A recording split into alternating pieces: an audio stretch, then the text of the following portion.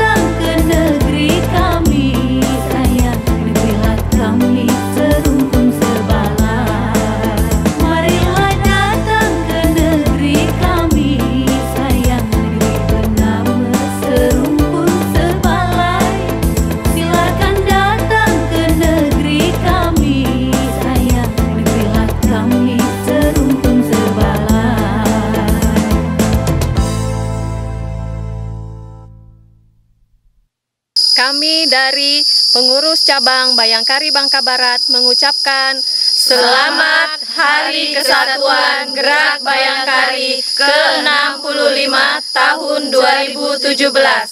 Semoga sukses selalu.